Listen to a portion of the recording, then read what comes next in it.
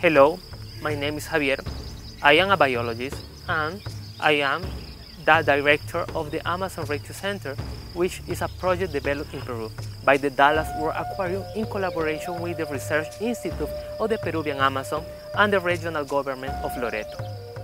We evolved in a Peruvian Amazon, a beautiful place where people interact with one of the most diverse and important ecosystems of the planet, where for thousands of years men has wisely used what nature provides to build their house, feed their families, and live in a healthy environment. However, the overexploitation of resources has led many places where once there were abundant resources, today people no longer can find them and start living in extreme poverty and really deplorable environmental conditions. Many wildlife species that are very important for our ecosystem are beginning to disappear. One of them is the Amazonian manatee, the largest mammal in the Amazon, which, despite laws that protect it, it still remains hunted for their meat. The problem becomes more serious when baby manatees are captured alive in order to be sold as pets. The manatees, like all mammals, are dependent on its mother's milk to survive the early years. They breastfeed underwater, and their nutritional requirements are very complex, so its care requires a lot of efforts. In some cases, when we rescue manatees, we found babies who are floating belly up.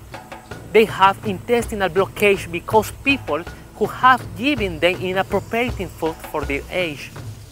It's like feed a human baby with hamburger. It's impossible.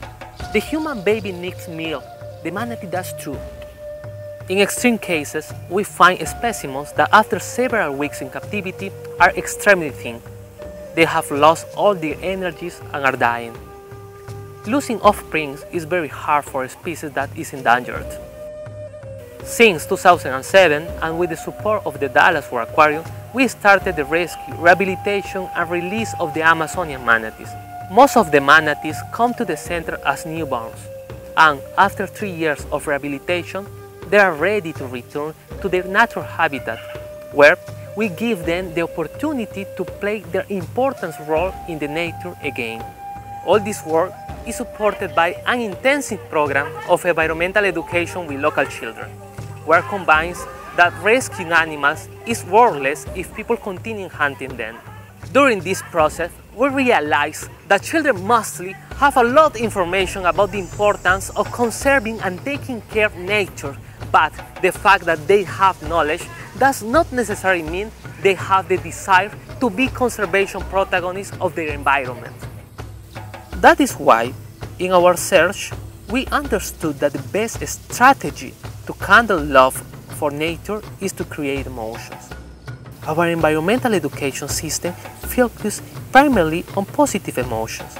That is the best way to promote the necessity to take care of nature and develop empathy for the nature environment. That is why we use the best strategy in the world, games. Most adults today who are committed to protect the environment have something in common, is that during their childhood they had the opportunity to be in touch and play with nature.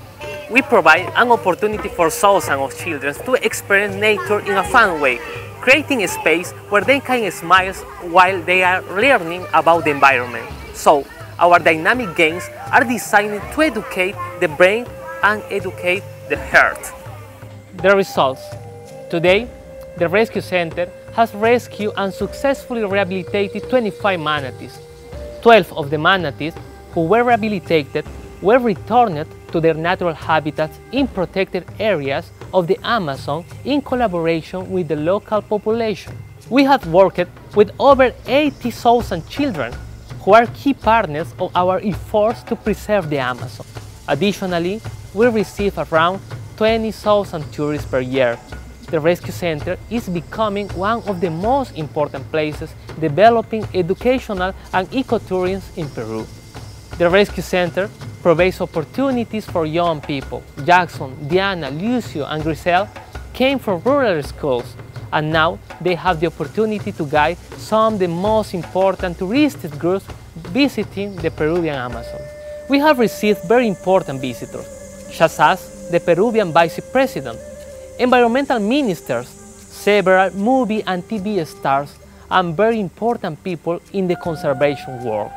We are deeply grateful to the Dallas World Aquarium for trusting us and continue leading this project that has become one of the most inspiring programs nationwide.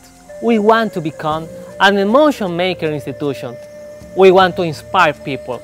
Children are not only the future, they are also the present and are currently making a positive change in our society. Thanks Mr. Dario, thanks the Dallas World Aquarium.